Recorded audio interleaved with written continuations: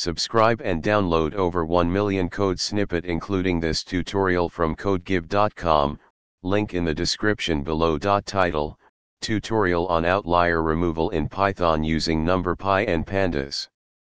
Introduction Outliers are data points that significantly deviate from the rest of the dataset, potentially skewing the analysis or modeling results. In this tutorial, we will explore how to identify and remove outliers from a dataset using Python. We will use the NumPy and Pandas libraries for data manipulation and analysis. Assuming you have a dataset in a CSV file named data.csv, use the following code to load it into a Pandas data frame. Before removing outliers, it's beneficial to visualize the data to identify potential outliers. You can use box plots, scatter plots, or histograms for this purpose. To identify outliers, we can use statistical methods like z-score or the interquartile range, IQR.